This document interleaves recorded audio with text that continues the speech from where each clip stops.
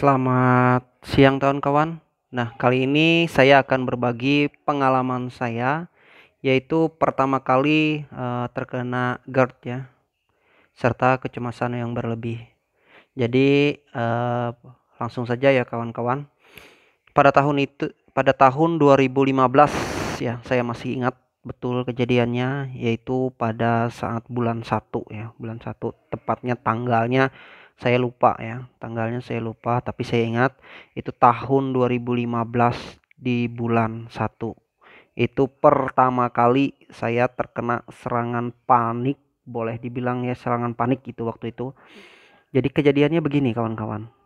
Nah pada saat itu uh, saya setelah melakukan aktivitas olahraga aktivitas berat ya bekerja uh, bekerja ya. Sepulang saya bekerja, saya duduk di depan pintu. Duduk di depan pintu sambil makan pentol ya, makan pentol serta meminum kopi ya. Pada saat itu, pada saat itu saya masih merokok ya. Terus terang saya masih uh, aktivitas merokok ya. Dan sekarang saya tidak merokok lagi.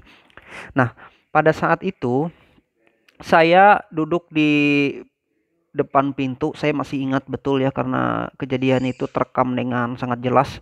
Jadi setelah saya makan pentol, saya minum kopi. Nah, sambil menghisap rokok ya kalau nggak salah itu dua batang ya kalau tidak salah. Ingat saya waktu itu. Nah, setelah itu saya hmm, 5 menit habis makan pentol itu langsung mandi. Pada saat itu kejadiannya setengah tujuh malam ya. Jadi pukul 18.30 ya. 18.30. Nah, sehabis mandi, habis mandi ya, saya waktu itu mandinya langsung aja basahin kepala kawan-kawan. Langsung siram biur gitu. Padahal kan nggak boleh ya aturannya kalau habis capek ya yang saya baca itu adalah kalau kita mandi itu siram kaki dulu ya kaki pelan-pelan naik ke badan ya supaya tidak uh, apa ya katanya supaya ya tubuh kita bisa beradaptasi dengan panas ya badan kita yang habis bekerja. Bahkan kalau habis bekerja itu katanya teman-teman jangan langsung mandi ya, tapi dinginkan dulu badan minimal 15 menit ya. Nah, tapi waktu itu saya 5 menit habis kerja, makan langsung pentol, minum kopi, uh, ngerokok dua batang, langsung mandi, langsung siram itu kepala langsung. Nah, sehabis saya menyiram kepala saya, kawan-kawan, uh, biasa saja, tidak ada sensasi yang aneh-aneh, tidak ada sensasi. Nah, habis itu saya langsung uh, apa ya? Uh, pakai handuk habis itu pasang pakaian dan langsung uh, duduk di depan TV menonton. Nah nah berbaring menonton sambil menunggu mau sarapan ya karena kami biasanya sarapan itu tepatnya pada pukul 19 ya 19 WIB atau waktu Indonesia Barat atau jam 7 malam ya. Nah pada saat itu saya masih ingat ya tiba-tiba uh, kepala saya pusing. Berputar-putar berputar-putar berputar-putar. Pokoknya kalau ngelihat rumah itu kayak mau kebalik. Nah, mau kebalik. Itu adalah serangan pertama saya. Mau berputar-putar terus ya. Habis itu ah, saya ini langsung kepikiran. Biasanya kalau pusing berputar-putar itu adalah ciri-ciri tekanan ya atau hipertensi. Pada saat itu usia saya kalau nggak salah masih 27 tahun. Nah, umur saya masih 27 ya. Nah, nah ketika itu saya langsung apa ya langsung berbaring ambil air minum dua gelas air uh, putih dan mengambil uh, di kulkas itu mentimun ya mentimun saya ambil timun habis itu saya makan timun dan saya berbaring berbaring di uh, tempat tidur ya. Nah tetapi uh, yang saya rasakan kepala ini uh, kayak mau muntah berputar terus kawan-kawan berputar terus. Nah berputar terus habis itu kalau berbaring itu noleh ke kiri nggak bisa. Karena eh bukan noleh ke kanan nggak bisa. Cuma ke kiri aja langsung mau muntah karena rasa berputar berputar.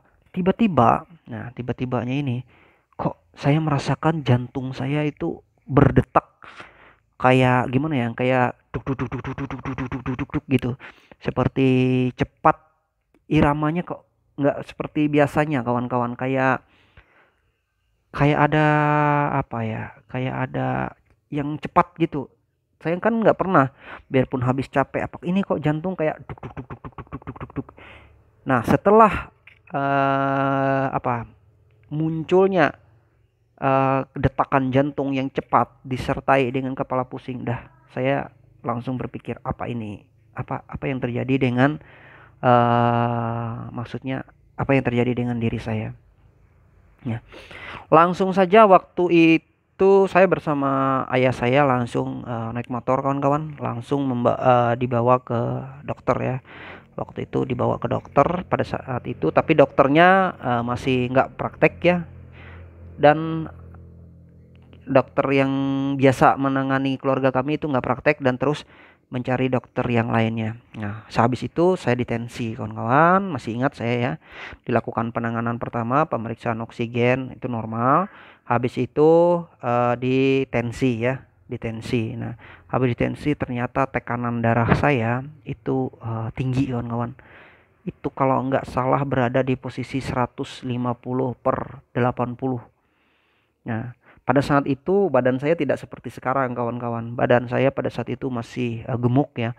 Dengan tinggi 167 dengan berat badan hampir 73 kilo. Nah kalau sekarang saya lebih ringan yaitu 64 kilo dan saya tidak merokok lagi kawan-kawan. Itu adalah hal positif yang saya dapatkan dari penyakit ini. Nah saya lanjutkan ya. Pada saat itu yang anehnya detak kok saya kayak gelisah kayak ketakutan apakah ini uh, saya akan mati atau apa saya nggak tahu ya.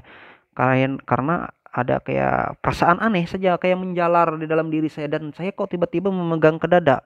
Kenapa kok detakan jantung saya cepat tapi tidak ada nyeri ya tidak ada nyeri waktu itu. Nah, ketika dicek di dokter tadi tekanan darah saya itu uh, 150 per uh, 80 nah langsung uh, dicek gula darah normal dan dicek kolesterol. Dan ternyata kolesterol saya waktu itu kolesterol total ya kawan-kawan.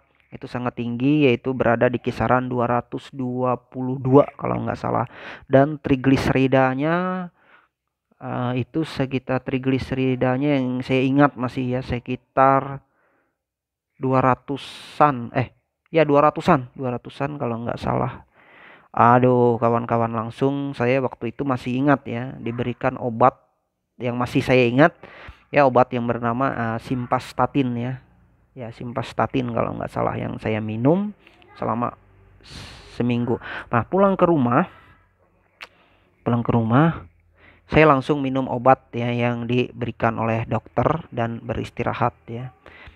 Uh, habis beristirahat kawan-kawan uh, ketakutan itu perlahan hilang. Tapi yang anehnya adalah detakan jantung itu dan uh, apa ya kayak sesak-sesak napas gitu loh. Rasa sesak yang ada di dada ini aneh karena kita tidak pernah mengalami sebelumnya yang namanya sesak napas itu. Jadi ketika saya pulang dari dokter karena di sini cuma dokter praktek ya masih di desa ya karena jarang ada yang dokter atau rumah sakit karena di sini cuma ada puskesmas kawan-kawan. Jadi setelah saya ke dokter dikasih obat lalu pulang. Nah ketika pulang itu kaki saya ini kok dingin. Jadi mohon maaf kawan-kawan eh, kaki telapak kaki maksudnya. Telapak kaki itu kayak es ya. Pokoknya kalau disentuh dia cuma di telapak kakinya saja nggak sampai lutut nggak jadi cuma di telapak kakinya saja habis itu kayak menggigil kedinginan dan ketakutan. Kayak sangat takut ya.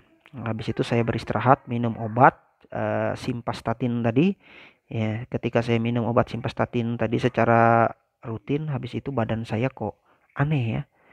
Anehnya apa? Uh, badan saya kok agak kuning ya karena ketika meminum uh, simpastatin uh, ya saya ingat masih simpastatin itu. Nama obatnya itu badan saya agak kuning dan saya lemes. Jadi saya stop meminum obat uh, simpastatin tersebut ya. Nah jadi itu adalah serangan pertama yang sebetulnya uh, yang men saya derita. Kenapa? Karena saya pada waktu itu sangat gila-gilaan kawan-kawan meminum kopi ya. Saya pernah meminum kopi, salah satu merek kopi hitam yang terkenal di Indonesia itu hampir 6 gelas ya, kawan-kawan. Saya meminum kopi itu waktu itu sampai 6 gelas bahkan 7 gelas itu. Gila.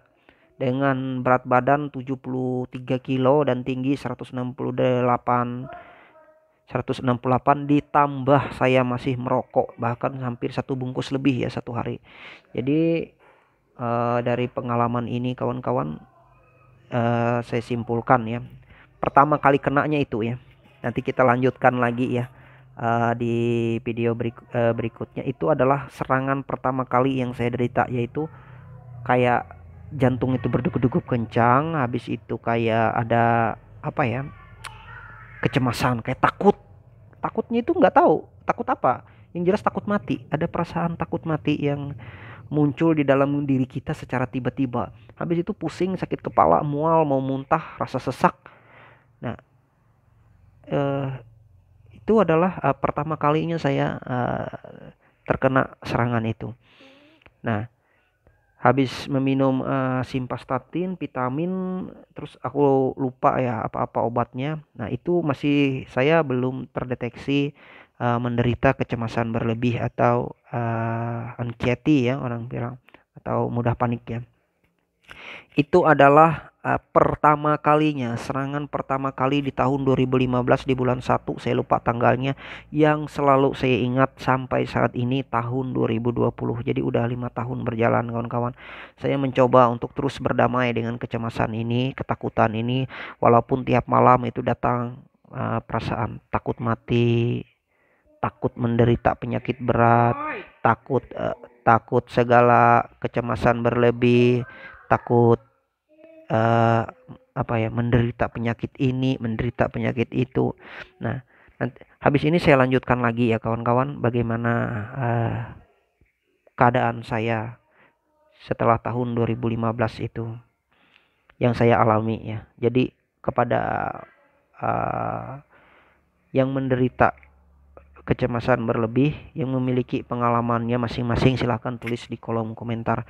Saya akan mencoba menjawabnya berdasarkan bukan berdasar apa berdasarkan uh, apa ya pengalaman saya yang saya alami kawan-kawan yang saya apa alami selama uh, serangan itu. Jadi itulah awal serangannya. Saya nggak tahu itu itu itu panik. Masih masih nggak tahu. Serangan panik itu saya nggak ngerti masih. Jadi dalam diri saya saya kenapa ini Nah, yang anehnya pada saat pertama itu yang perlu dicatat adalah kaki dingin, sesak napas, kepala pusing, mual, muntah, dan ada perasaan takut mati. Nah, itu adalah serangan pertama kali saya yang saya alami kawan-kawan. Nah, itu adalah tahun 2015 itu saya ingat ya, betul-betul saya ingat ya. Oke kawan-kawan, uh, itu saja pengalaman dari saya. Makasih.